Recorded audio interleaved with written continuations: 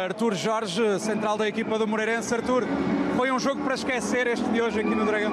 Sim, claramente. Uh, queríamos ter dado uma resposta melhor. Uh, penso que tivemos uma, uma, boa primeira parte. Foi pena irmos em desvantagem para o intervalo uh, pelo lance do penalti. Depois a segunda parte correu tudo mal. queríamos ter, queríamos ter tentado dar a volta, igualar o jogo. E, e, não conseguimos e correu tudo mal. Agora é pensar no próximo. Porque na segunda parte entrou logo a marcar o 2-0.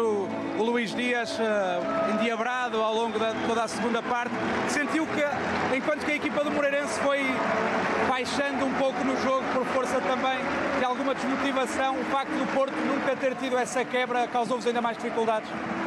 Não, a nossa ideia, como eu disse anteriormente, era ter reagido na segunda parte, porque sentimos na primeira que podíamos ter, ter, ter feito melhor, mas não podemos cometer os erros que cometemos na segunda parte. Uh, entramos mal, o Porto fez logo 2 a 0, uh, entraram muito mais forte do que nós e nós, e nós não conseguimos a tal reação. Uh, e agora temos que nos focar no próximo fim de semana e, e, tentar ganhar o jogo em casa.